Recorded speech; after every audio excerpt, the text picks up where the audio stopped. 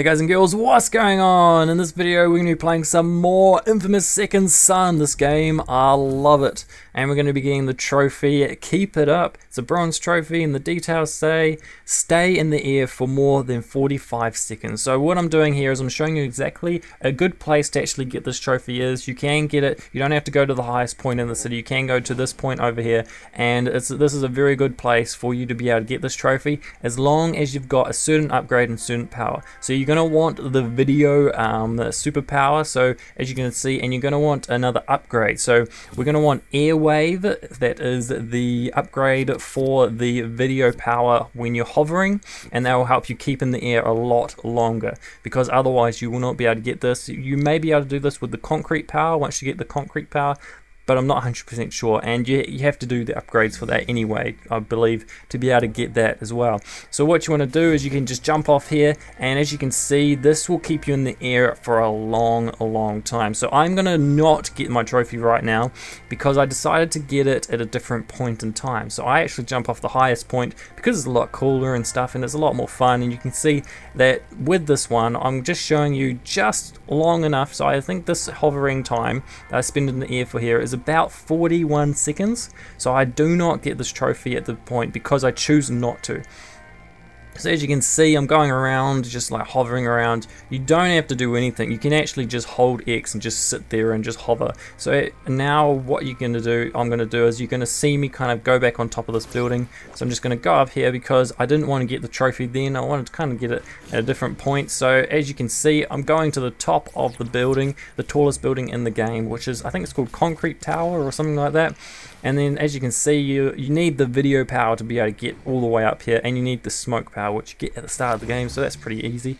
Um, and so what I'm going to do is I'm going to drive, jump off from here. Now from here, I think I actually spend the time around about, uh, how long is it? I think it was two minutes I think to spend in the air so you can spend a long time there so as you can see this upgrade lets you you know stand there a lot longer and if you do not have this upgrade you cannot get this trophy just by jumping off the top of the building. You will fall too fast.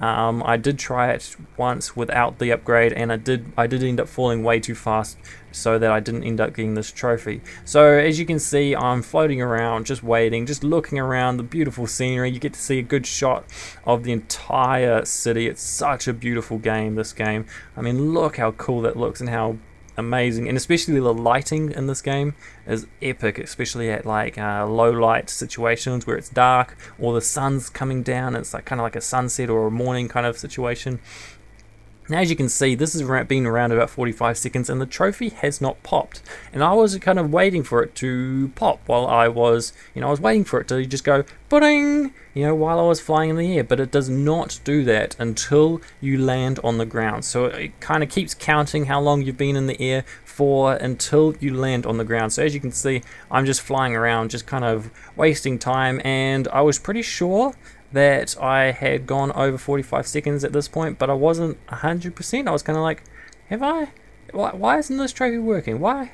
Why? Is this a glitch trophy? Is this going to be a glitch trophy? That was my thought process, but it's not. It's just, it activates as soon as you touch the ground. So you have to touch the ground. So as you can see, this has been well over 45 seconds, and we're just going to wait for me to land on the ground for the trophy to end up uh, activating. So that's all you really have to do for this uh, trophy.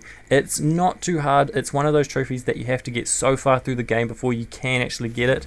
But other than that, it is very easy to get once you are that far through the game. So as you can see, I'm just about to touch the ground and there's the trophy. Keep it up. So that's all I'm going to say. So thank you guys for watching. Hope you've enjoyed it. Hopefully you can keep it up and get the trophy. And now it's time for me to say see you guys and girls.